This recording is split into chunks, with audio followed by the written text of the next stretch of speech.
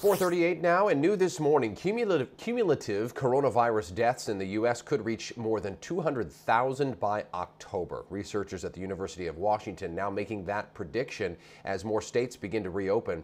Here's a look at the daily deaths in each state as of today. Here is what it would look like as of October 1st, according to UW. Researchers predict Florida will be among the hardest hit states. Washington state not expected to be as bad compared to the rest of our country. Our state's projected to be well below the national average for coronavirus deaths by October, according to UW. Governor Inslee is urging the Trump administration to implement a nationwide COVID 19 screening system for travelers and aviation workers. Inslee is calling for the federal government to provide protective gear for domestic airlines, temperature and symptoms checks for travelers at the airport, a mask requirement for passengers and workers, and collecting contact tracing information. In a letter to President Trump, Inslee says state and local governments cannot afford it alone, and that's why he wants federal assistance.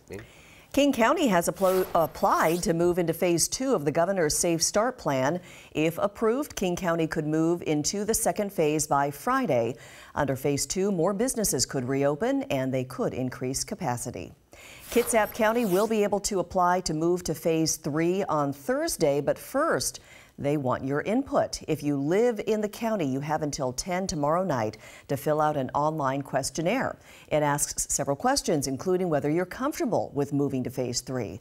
A special meeting will be held Friday to decide if the county will apply.